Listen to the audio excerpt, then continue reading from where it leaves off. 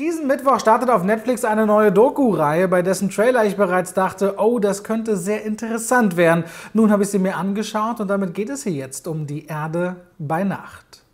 Ob Raubkatzen, Dickhäuter oder Meerestiere, ob das Leben im Dschungel, in der dunklen See oder in der Großstadt, vieles wissen wir über das Treiben bei Tag. Doch wie sieht es mit der Nacht aus? Neueste Lowlight-Kameratechnik im Verbund mit Wärmebildkameras erlauben nun diesen Blick in eine bisher kaum erforschte Welt und entdecken dabei erstmals Verhaltensweisen, die so bisher an vielen Stellen noch nicht bekannt waren und aus dem Verborgenen treten. Die Erde bei Nacht im Original Night on Earth kommt mit fünf Episoden daher, die zwischen 40 und 52 Minuten lang sind, hat eine Netflix-Altersfreigabeempfehlung von sechs Jahren und ist dort ab diesem Mittwoch, den 29. Januar 2020 anschaubar und ist eine neue Natur-Doku-Reihe und unter anderem mit Unser Planet hat der Netflix vor einiger Zeit einen absoluten Hammer abgeliefert. Mit tollsten 4K-Bildern, Einblicke in die Tierwelt, die ich so in einer Doku-Reihe dieser Qualität noch nicht gesehen habe, wo man sich zurücklehnen konnte und einfach nur genießen. Unser Planet hatte bereits brachial tolle Bilder. Und so dachte ich schon beim ersten Trailer von Die Erde bei Nacht, könnte das da irgendwie anschließen, weil die Bilder sahen wirklich gut aus. Aber wie wird das aussehen, wenn man auf Nacht alles mit Wärmebildkameras und Lowlight-Kameras irgendwie paart? Wird das alles ein sehr grauer und schleierhafter Look oder kriegt man dann einen besonderen Stil rein? Und habe ich sie mir angeschaut und muss sagen, es sieht wahnsinnig toll aus. In 4K und vor allem mit neuester Lowlight-Kameratechnik, was man sich immer wieder bemüht, am Anfang jeder Episode auch nochmal zu erwähnen. Und man könnte daraus ein Trinkspiel machen, wann immer Lowlight oder Wärmebildkamera Wärmebildkamera gesagt wird, aber das nun mal am Rande äh, erwähnt, ergibt das hier wieder Bilder, die nicht nur in 4K gestochen scharf sind, sondern auch Verhaltensweisen von Tieren aufzeigen, die wahrscheinlich so bei vielen äh, noch nicht bekannt waren in der Nacht und auch immer wieder betont wird, dass hier erste Aufnahmen überhaupt das erste Mal auf diese Art und Weise stattgefunden haben. Nun habe ich im Pressebereich quasi fünf Episoden gesehen. Kann sein, dass da vielleicht sogar noch mehr kommt, wenn die Serie tatsächlich released wird, weswegen ich eingehend gesagt habe, dass es halt fünf Episoden so weit gibt, wie ich es weiß, gerade vor Release. Bei Netflix-Produktionen weiß man ja oft noch nicht so ganz so viel, aber vor allem habe ich eben gehofft, kann das so an unser Planet anknüpfen und es kann. Für alle, die also diese Doku-Reihe mochten oder auch unsere Erde im Kino damals gesehen haben und so tolle Bilder zu schätzen wissen und Natur- und Tierdokumentation sowieso mögen, den kann ich nur empfehlen, die Erde bei Nacht zu schauen. Es geht einmal rund um den Erdball und ob man sich mit Raubkatzen, also Geparden, Löwen, Pumas oder Leoparden beschäftigt, in dem natürlichen Lebensraum bis hin in die Großstadt und was da in der Nacht passiert, wenn man in die Tiefsee oder zumindest in die, in die See abtaucht und guckt, was dort in der Nacht passiert und wie viele fluoreszierende Tiere es da auch noch gibt. Ob man sich Elefanten, Nilpferde, Mäuse, Spinnen, Affenarten anguckt,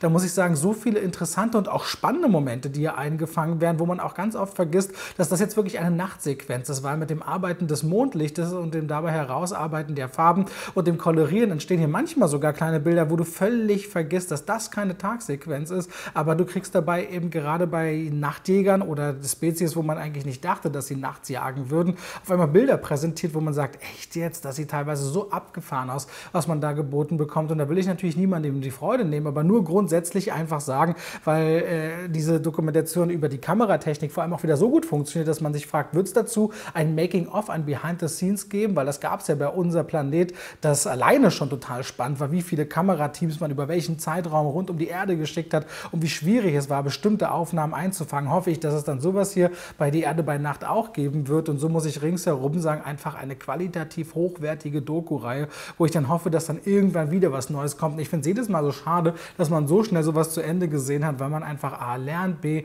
einfach tolle Bilder präsentiert bekommt. Und das ist eine Sache, wo ich ganz ehrlich sagen muss, mit diesen beiden Produktionen, Unser Planet und Die Erde bei Nacht, hat Netflix schon mal zwei Sachen am Start aus eigener Riege, wo ich sage, Chapeau, das ist für Genrefans ein absoluter Hit. Und gerade Unser Planet habe ich ungefähr schon fünfmal durchlaufen lassen.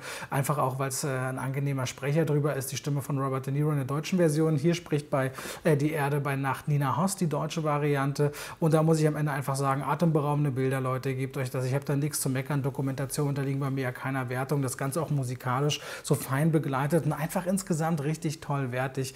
Und da wünsche ich mir, dass dann irgendwann mehr kommt, weil die Tatsache, hier neue Verhaltensweisen entdecken zu können, aber vor allem auch von dieser Kameratechnik so fasziniert zu sein, muss ich sagen, das äh, flößt mir Respekt an und man spürt richtig, wie aufwendig das ist. Man fragt sich auch immer wieder, wenn man in so einen Bienenstock bei Nacht auch noch reinkraucht und überhaupt kaum noch Restlicht ist, wenn sowieso noch ein Blätterdach drüber ist und man dann teilweise bloß noch 2% des reflektierenden Mondlichts hat, was für feine Sensoren da verbaut sind und wie man dann auch überhaupt noch so nah an die Tiere rankommt, wenn man selbst dann als Kameracrew wahrscheinlich kaum etwas sieht, wie die da mit Nachtsichtgeräten oder was auch immer hantiert haben, um überhaupt den Shot und den Frame hinzukriegen. Finde ich spannend, weswegen ich ein Making-of gerne sehen würde, aber kann eben nur empfehlen, Leute, für alle, die sowas wie unser Planet, unsere Erde und viele andere Tier-Naturdokus mögen, die Erde bei Nacht fett ankreuzen im Kalender ab Mittwoch anschaubar, die fünf Episoden zumindest, soweit ich weiß.